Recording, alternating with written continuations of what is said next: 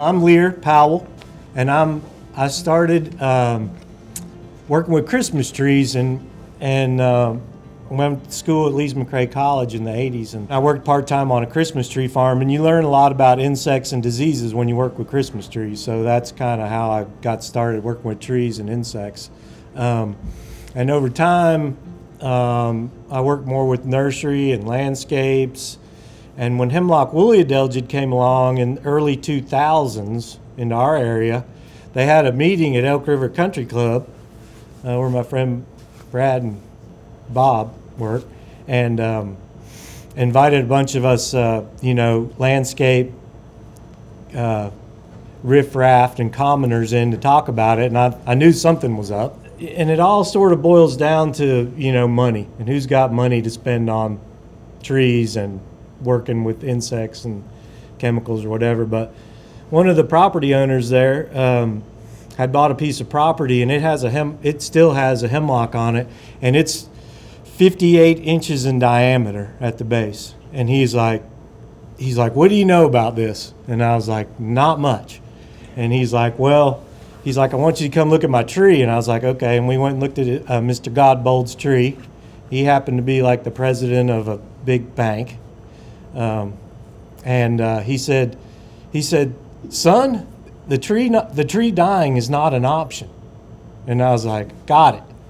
And so that's when we really started looking into, you know, how do you deal with this? And at the time, we thought we were going to get a crane, maybe, and spray this thing, because that's what we do in the Christmas tree industry. We spray stuff, and um, in agriculture and whatever.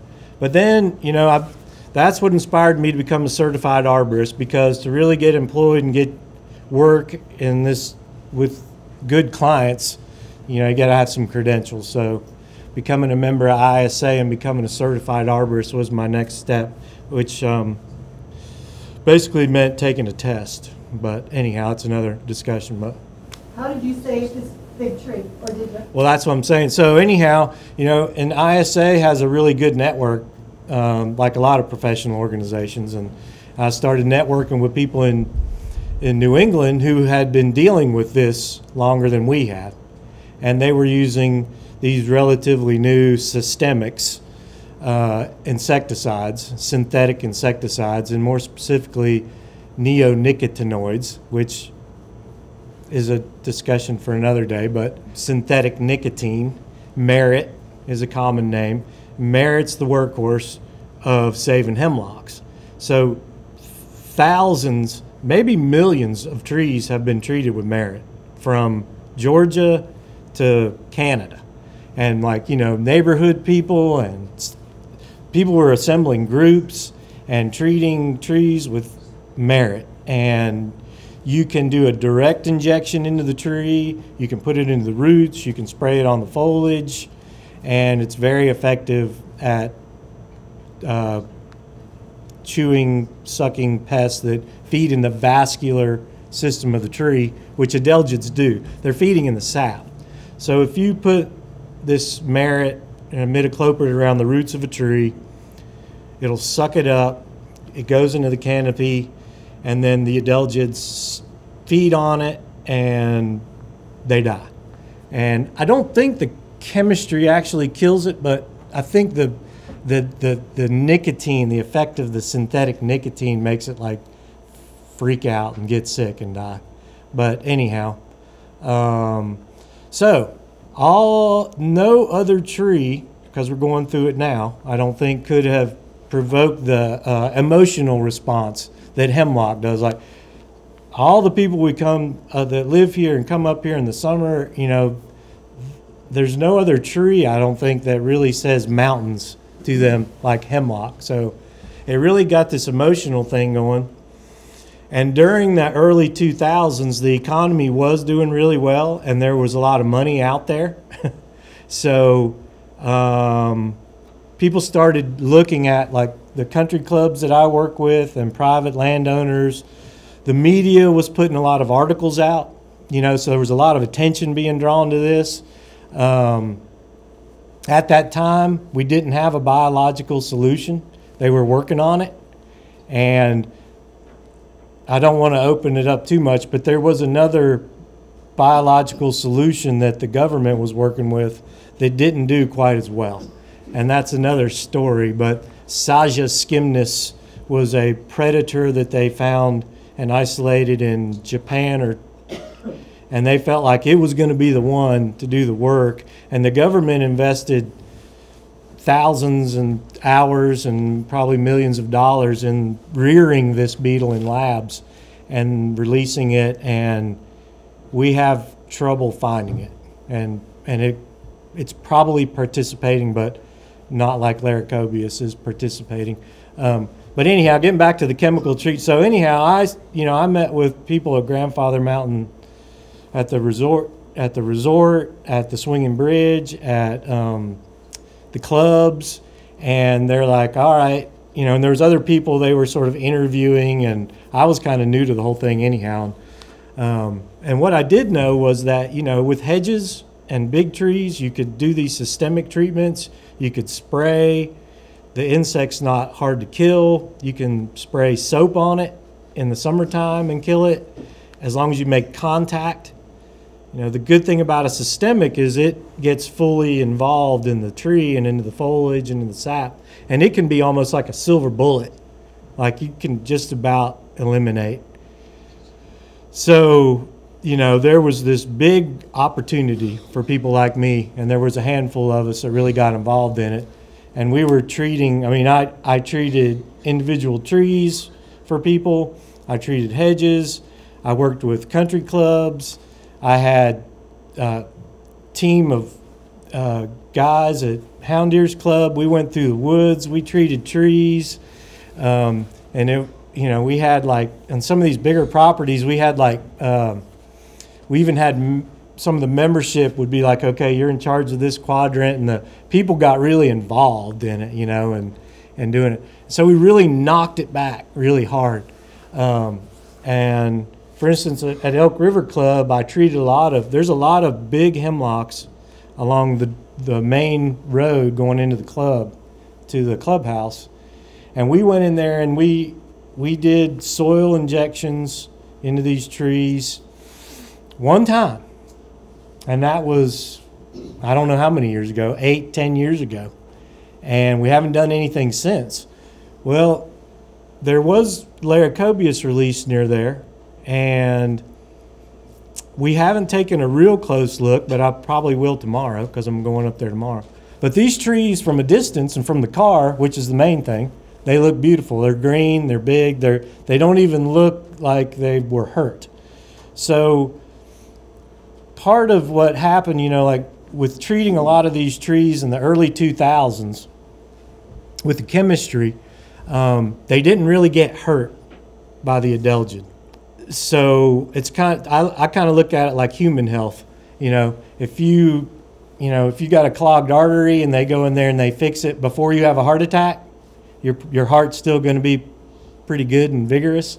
If you have a heart attack and then they fix you, then you might not be as vigorous. Well, a lot of these early treated trees, they still maintain their vigor and their density, and a lot of them have only been treated like one time, maybe twice over almost what, almost 20 years now.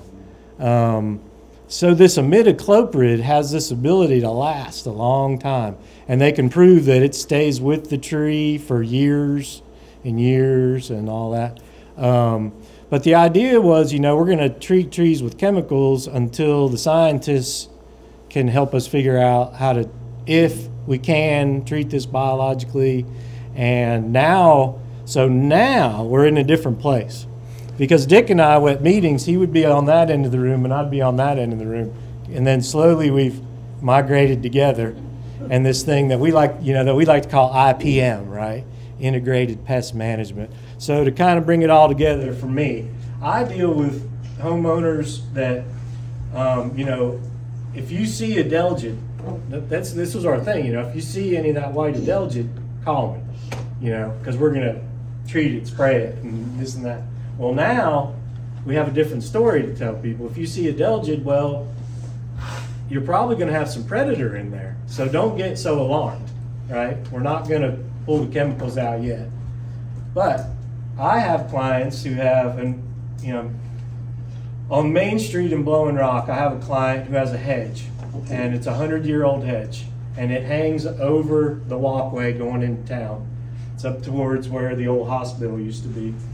And, you know, when you deal with individual clients, you kind of get an idea of what their tolerance or what their desire is.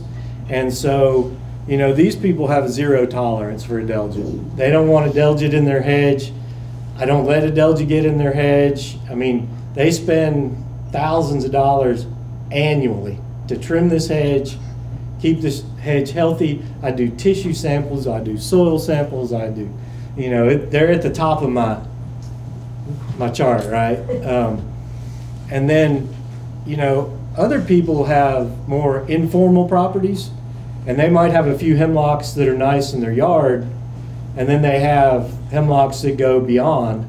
And so now, my personal sort of theory with those type of clients is, you know, that we treat the trees that are right around the house, hedge, you know, ornamentals, hedges, um, big forest type trees that might have had some compaction or um, some construction issues when the house was built, you know. But those trees, you know, and, and they want to, when they pull into their property, they want to see beautiful big green, you know, trees.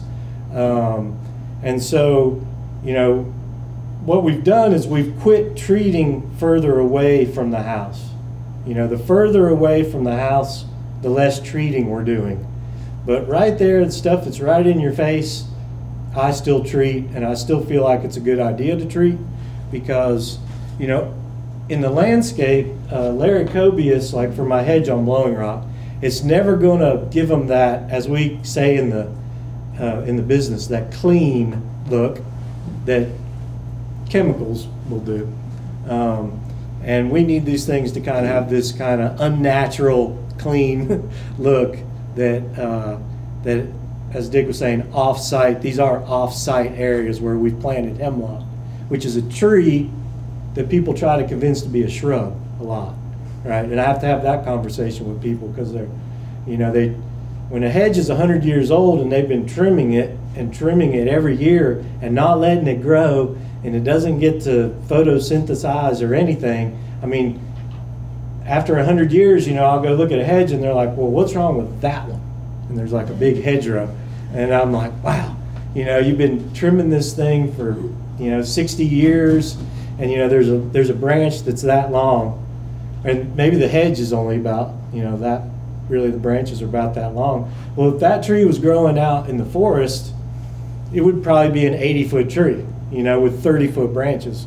And so, you know, as a human, we're, be, you know, we, we like to trim them down and make them, and that is a very challenging part of managing hemlock woolly adelgid. Um, you know, with the more natural, and I and I don't, I try not to pay a lot of attention to the ornamental stuff because, to me, the big forest trees are the important part of this because those that's where they rely on other animals and insects to live um, amongst the hemlocks and the trout and, um, and all that. But you know, there's times, and they haven't had one in a while, but I have to say one of the one of the best rewarding times that uh, Dr. McDonald and I connected. They they do a three day symposium on hemlock woolly adelgid. The forestry department does, and you get to sit and hear all kinds of different studies that go on, you know, how chemistry works, how bio biologicals are working. And the last time we had one in Asheville, Dick got up to give his talk about Laricobius, and they had known about Laricobius, but the government hadn't really focused on it. But he'd been focusing on it. and their predator, which we pretty much deem as unsuccessful now, and most um, most people who are objective would, you know, and really look at the science would probably agree. But the but the government still sort of stands behind Sasajiscymnus because they put a lot into it and they have to. Um, but anyhow, Dick got up and got to give his talk about Laricobius, and it, and, and it was it was very uh, rewarding for me sitting in the back because it was sort of a an aha moment, and a lot of those researchers knew he was right, but they couldn't get up and say much because of the people that signed their check. right? and so there's Dick up there, and they're like, ah, there's that McDonald again, causing problems. But ultimately, he was right. And as an entomologist, you know, entomology is a fairly boring, I think, as a, you know, it's a lot of, it's a lot of this, you know, it's a lot of time in the lab and this and that. But, but to be able to get involved in something, you know, he's been involved in a lot of things, but to be able to get involved in something like this and really come up with what is an answer and a success. Because when you look on the internet now, I mean, major players are involved in this. So I sent Dick an article. Um, there's this place in Rocky Gap, where near in Western Maryland, where my aunt lives, and that's been a big release site. And recently, they went in there and they collected Laricobius out of Rocky Gap Park, and they moved them to a site in Pennsylvania where there's a lot of mature hemlocks where one of the planes that went down that was shot down in 9/11. It's a memorial site. And so that shows you that the government is engaging in this and they're behind it. But they're not going to get up and say, oh, Dick McDonald's the greatest guy ever. That, that would be against their morals because they have their other guys. Uh, yes. Um, so how does the, the, do the pesticides and the good beetles work? Do they kill them too, or? Yes, they probably will. They probably would. And so the idea is if you have trees that you're treating chemically, you kind of keep them on, as we like to say, the, uh, the treadmill.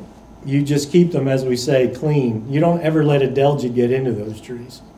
You keep them sprayed, you keep them, and like I said, this imidacloprid will last for years, so every five or six or seven years, if you hit them with a little imidacloprid, then the, the predator's not going to be attracted to a tree that doesn't have food.